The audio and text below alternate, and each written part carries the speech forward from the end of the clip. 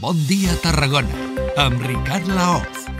Hola, què tal? Bon dia, benvingudes i benvinguts a la sintonia de Ràdio Ciutat de Tarragona. En aquest matí de dijous, després de repassar l'actualitat informativa amb els eh, companys precisament dels serveis informatius, és temps eh, de l'entrevista avui per analitzar les dades i les conclusions d'un estudi sobre l'impacte de la Covid-19 a la ciutat de Tarragona. Un estudi que ha impulsat l'àrea de serveis socials de l'Ajuntament de Tarragona amb la col·laboració de la Universitat Rovira i Virgili. Aquest matí ens acompanya la doctora Ramona Ramona Torrents. Ella és la investigadora principal de l'estudi, és professora del Departament d'Antropologia, Filosofia i Treball Social de la URB. Doctora Torrents, molt bon dia. Hola, molt bon dia. Primer que res, les conclusions, i ara entrem, després de seguida entrarem una mica de detall. Els han sorprès, a vostès que són d'alguna manera els experts, o d'alguna manera l'impacte de la Covid i amb les dades que han aportat a l'estudi és una mica el que ja preveien?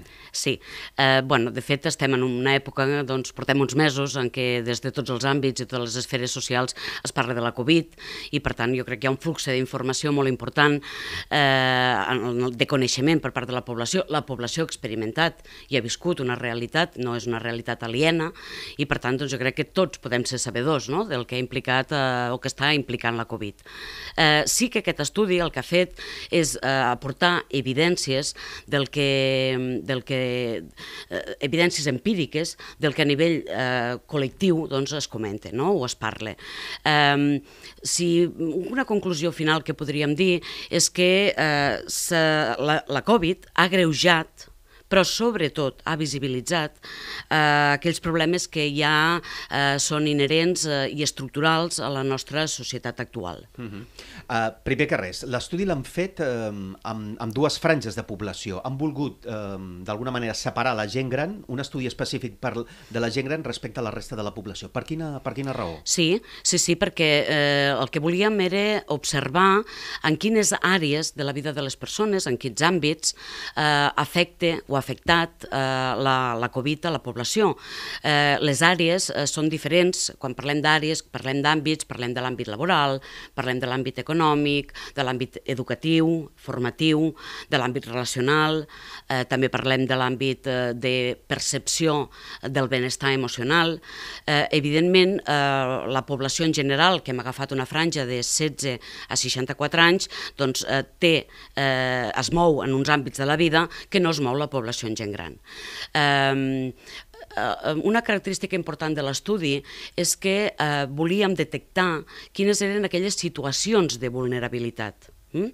Eh, clar, les situacions de la vulnerabilitat estan en funció de, eh, del moment de la vida de les persones. No? Per això hem optat per fer una distinció entre eh, la població en general i la població de gent gran. Parlant de vulnerabilitat, clar, algunes de les dades em diuen entre la població en general que el 35% estan al llindar de la, de la pobresa, per exemple, no? que el 16% ha perdut la feina després de la pandèmia o que hi ha un 25% d'exclusió residencial. Això només pel que fa a la població en general. Aquestes són algunes de les les dades i Aquestes... no, sé, i no sé si són impactants eh, d'entrada, perquè, clar, parlar d'un 35% de persones en el llindar de la pobresa em sembla una dada especialment crua. És una dada crua, és una dada crua que, eh, com deia, evidencia que estem davant eh, d'una societat que eh, està fracturada, d'una societat que té eh, situacions de desigualtat social eh, molt importants, que afecta de forma molt diferencial als grups socials, grups socials en funció de la seva disponibilitat o de la seva accessibilitat econòmica, per tant de recursos econòmics, que afectarà també en funció dels, eh, del nivell educatiu i del nivell formatiu que tenen. Eh, aquesta desigualtat social eh, és agreujada moltíssim amb la pandèmia. Mm? Hi ha, eh, nosaltres ara ja feia anys potser que no, no posàvem en valor què implicava l'accés a l'alimentació l'accés a, la, a, a disposar uh -huh. d'aliments... Es, es donava per fet, no? Es donava per fet. Eh? Per tant, e, era una condició, una situació doncs, eh, d'accés. Doncs, Primer, el nostre estat del benestar, així ens ho ha fet creure, no? aquest món neoliberal en el, que ve, en el que vivim ens ha fet creure. Hem creat tots uns sistemes i uns dispositius assistencials i d'atenció a les persones que fins ara ens han permès garantir eh, la cobertura d'aquest tipus de necessitats tan bàsiques. Eh? Precisament volia posar aquest exemple perquè és una necessitat molt bàsica bàsica. Doncs tot, tota la ciutadania han pogut veure imatges, escenes de cues de la pobresa. Mm? Uh -huh. Ho hem pogut veure, aquesta vegada se'ns fa visible, perquè el, la Covid el que ha fet és posar en coneixement, els mitjans de comunicació ja heu tingut, evidentment, molta influència, però ha posat en coneixement de tota la ciutadania allò aquelles situacions, i sempre parlaré de situacions de vulnerabilitat, no de persones vulnerables, eh, de situacions de vulnerabilitat, ha, ha posat en evidència allò que no es vol veure en la vida quotidiana de les persones. No? Hi ha fenòmens que no els volem veure. No volem veure el sofriment de la gent gran, no volem veure eh, les cues de la pobresa, no volem veure els problemes de salut mental. Doncs la Covid ens ha posat en sintonia uh -huh. a, a la població, en totes aquestes realitats invisibilitzades. Ara li preguntaré per qüestions de salut, de salut física i de, i de benestar emocional també, però encara parlant de qüestions, entre cometes, més, més materials, però de vulnerabilitat. Si parlàvem d'aquestes xifres en la població en general, això encara s'agreuja més en la població de gent gran? Quan parlem de pobresa, de pobresa energètica, de dificultats per accedir a coses bàsiques com, com l'alimentació, encara és pitjor? Uh, uh, sí, és pitjor... Uh, però afecta de forma diferent. Eh? Eh, potser quan parlem de pobresa en la població de 16 a 64, 65 anys, 64 anys, parlem de famílies en situació de pobresa. Eh? I en canvi, quan parlem de gent gran, potser no? quan ens referim a la gent gran, ja estem parlant més de la condició de la persona gran que té diferents factors de vulnerabilitat i que la fa més eh, sensible a, a, eh, a caure en situacions o a, a, a experimentar situacions de pobresa. Eh, mm, potser no és tan pobresa econòmica, eh? en el sentit doncs, que ja no estan en la vida laboral, ja no, ja no hi ha hagut una situació d'atur derivada de, de, de la Covid, però sí, per exemple, la pobresa energètica. És a dir, el que implica cobrir les necessitats bàsiques de la vida diària d'aquestes persones grans. El que és el sosteniment de les despeses de la llar, eh? el que són necessitats bàsiques, el que és l'accés a l'alimentació i, evidentment, aquí sí que després ja entraria tot l'element relacional, Uh mhm. -huh. eh, l'element relacional. Però en quant a pobresa, que deies només material, eh, eh, es fa més per, es fa més perceptible amb poder cobrir les despeses bàsiques. O, per exemple, en temes de salut, doncs poder accedir a una cobertura sanitària, eh, perdó, a, a serveis sanitaris, eh, atenció sanitària que no tenen cobertura pública pròtesis, eh, bueno, tot, sí. eh, tot el que derivaria de, de, de necessitats d'aquest tipus de la gent gran. Clar, això no ho veiem amb la població general, no? Amb la població general pren una rellevància i una potència a eh, l'accés a, a, a la vida no? I, a, i precisament a l'alimentació probablement i al sistema habitacional. I l'estudi eh? i l'estudi que, han, que han elaborat, què ens diu o què els di, diu sobre temes de, de salut? De salut eh, emocional, de benestar emocional o de salut física. És a dir, mm -hmm. s'han agreujat, les, les, detecten un agreujament en fi, de l'estat de salut, insisteixo, físic, però també eh, mental? Sí, Eh, dèiem, eh, abans dèiem no, que hi ha situacions eh, que s'han posat en evidència i que eh, ara hi ha, que, que fins ara eren inqüestionables. Eh? La salut és això. La salut, amb la salut, amb la pandèmia ha passat això. La salut amb, com a, com a mm, manca de malaltia no? o, o, o situació de malaltia, però també la salut global, la salut pública s'ha posat en qüestió. Eh? I per tant, d'alguna manera, ara ja la salut ja és un valor inqüestionable. Eh, la salut s'ha deteriorat. La salut física, tots això ens ho, el sistema mèdic, no? la, tot el sistema sanitari ens ho ha demostrat, però hi ha hagut un deteriorament dels estats emocionals, el que en diríem percepció de salut. Eh? Uh -huh. I això és molt important, la percepció. A vegades no és només identificar una malaltia diagnosticada mèdicament, sinó quina és la salut emocional de la població. Aquí hi ha hagut la intranquil·litat, la por, la, la, la, el desànim, la desconfiança cap a uns sistemes de protecció que fins ara teníem i que també percebíem com a inqüestionables. No? Tot això ha posat en un estat d'alerta constant a la població. I això, perdoni, també hi ha diferències entre la població fins als 65 anys i la població més gran? La intranquil·litat i la por ha estat present en, eh, a, tot arreu. En, a, a tot arreu, en tota la mm-hmm. població. Evidentment, que impacte diferent? Eh, aquí entraria doncs, els suports, els suports que les persones tenim per, eh, per, eh, per aconseguir un millor benestar emocional. I aquí entrem doncs, amb la xarxa relacional que tenim les persones. Aquí hem observat, i aquí sí que és una diferència entre gent gran i població en general, que la, la població de gent gran, la xarxa de suport no és tan sòlida. Mm? No és tan sòlida, perquè ja per la les condicions de vida de la gent gran, ja hi ha uns processos d'aïllament respecte al conjunt de la societat, les relacions entre la gent gran canvien, eh, i per tant doncs, la gent gran s'ha vist més, molt més vulnerable davant d'aquesta situació. Eh? Eh, diríem doncs, de que sí que la salut ha afectat de forma diferent, aquesta percepció dels estats emocionals de salut en la gent gran, tot i que eh, la intranquil·litat, la por, com bé sabem, i això ha estat eh, percebut. Eh? Mm -hmm.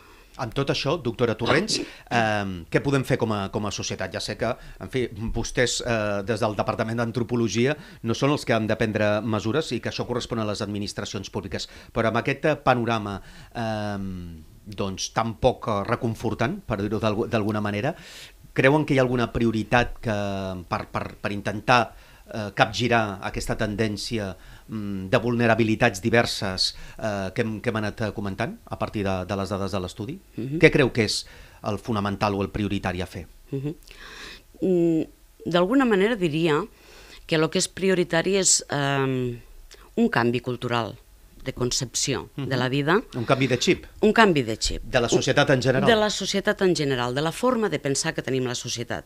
Que després aquest canvi de xip ha de quedar materialitzat i operativitzat doncs, a través de accions, polítiques públiques, polítiques sanitàries, eh, polítiques educatives, polítiques de serveis socials, polítiques d'habitatge, però aquestes polítiques han d'estar vertebrades per, per, per, per una cultura. Uh -huh. eh? Una cultura... I per on passa aquest canvi? O per on hem de començar a fer aquest canvi com a, com a societat? Sí, aquest canvi jo diria que com a societat parteix de considerar que no parlem de problemes individuals, sinó que estem parlant i de situacions de vulnerabilitat individual, perdó, sinó que estem parlant de problemes socials. Mm? Eh, quan parlem de problemes socials, quan parlem de necessitats socials, eh, deixen d'estar eh, deixen de ser de responsabilitat de la pròpia persona que està vivint una situació de, de, de, de problema o situació de necessitat i passa a ser responsabilitat de tot el conjunt de la societat. Ara ens passa una cosa, i és que tenim, eh, i la pandèmia ha posat en evidència això, eh, que eh, les persones grans necessiten cura, necessiten algú que les cuidi.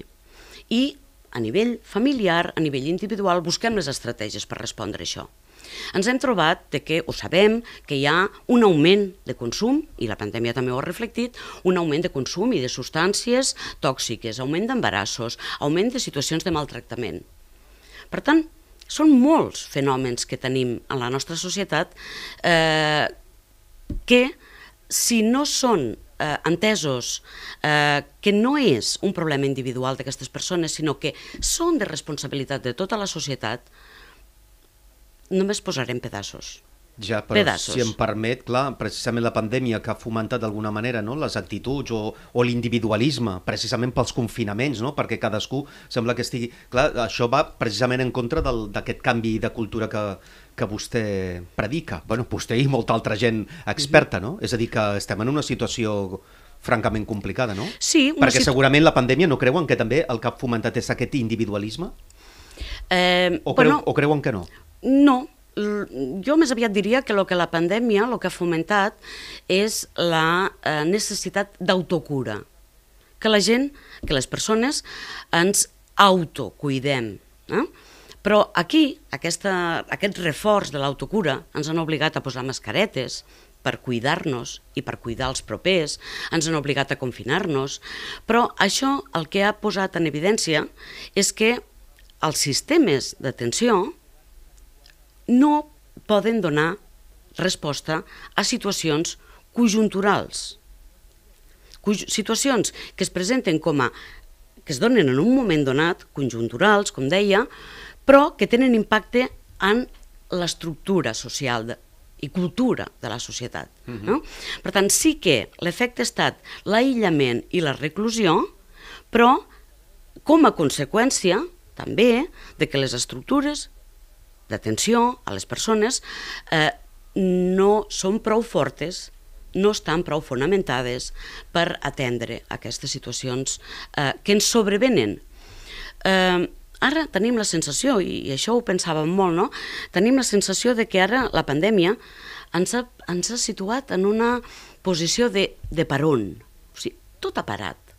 No? La societat ha, ha deixat de tenir aquesta vida frenètica i s'ha concentrat en un problema, en un fenomen eh, que, ens ha so, que ens ha sobtat, que ens ha sostobat, no sé si aquesta paraula és correcta, eh? que, que ens ha sostobat. Estem en un parèntesi. Doncs parlem abans de la pandèmia i durant o després de la pandèmia. Això ha de servir per alguna cosa. I confia.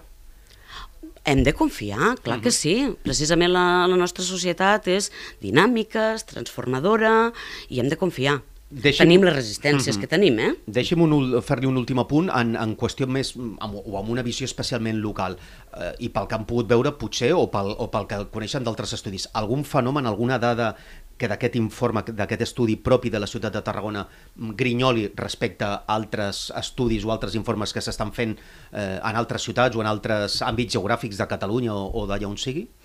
O no, estem en la mateixa línia? Estem en la mateixa línia. Jo no crec que... Crec que totes les dades eh, apunten eh, a lo mateix. L'únic que potser aquest estudi té una especificitat i és que al, al, al, al no segmentar l'àmbit de les persones, és a dir, el sistema mèdic estudia doncs, el tema epidemiològic, el sistema d'habitatge no? o, o, o estudis que tenen que veure amb com l'accessibilitat la, la, la, i les condicions de l'habitatge han afectat durant la pandèmia, no? el fet de poder estar confinats 7-8 persones amb espais reduïts. Eh, és a dir, hi ha estudis que han, han fet un abordatge més parcial de, eh, del, del, de l'impacte de la Covid. Clar, aquest, aquest estudi el que fa és demostrar que és transversal l'impacte, que no podem parlar de com ha afectat en els estats emocionals si no tenim en compte les condicions de l'habitatge, si no tenim en compte la condició econòmica. Mm? Eh, per tant, la persona és vista des d'una perspectiva integral, eh? no des d'una perspectiva com a, com, a, com, a, com a infant que va a l'escola, com a metge o infermera eh, que està atenent a la Covid, no? i aquest estudi fa una panoràmica molt més àmplia en les que hi ha una interdependència entre eh, els àmbits i les esferes de vida de les persones. Mm -hmm. mm? Això també fa més difícil pensar en un abordatge, evidentment. Eh? Per què? Perquè, bueno, doncs, eh, la nostra, eh, la no el nostre sistema de benestar està eh, està integrat per dispositius que no estan treballant de forma conjunta i de forma interdependent. Mm? El sistema de salut dels seus serveis, no? el sistema de serveis socials dels seus serveis, el sistema educatiu, però, clar, les persones no som només fills, només mares, només avis, eh? som tot alhora. Doncs amb aquesta panoràmica, o avui hem volgut analitzar una mica aquesta panoràmica general d'aquest estudi transversal sobre l'impacte de la Covid a la ciutat de Tarragona i ho hem fet amb la investigadora principal de l'estudi, la doctora Ramona Torrents, professora del Departament d'Antropologia, Filosofia i Treball Social, molt interessant i també molt impactant algunes de les xifres que apareixen eh, en aquest estudi encarregat per l'Institut Municipal de Serveis Socials de l'Ajuntament de Tarragona. Doctora Torrents, moltes gràcies pels seus comentaris i per les seves reflexions tan interessants sobre aquest estudi. Moltíssimes gràcies per l'oportunitat de poder compartir amb la ciutadania. Molt bé, doncs gràcies a la doctora Torrents, com dèiem, la directora, la um, principal impulsora, uh, investigadora principal d'aquest estudi, que avui ha estat el motiu central del Bon Dia Tarragona, aquí, a la sintonia de Ràdio Ciutat de Tarragona.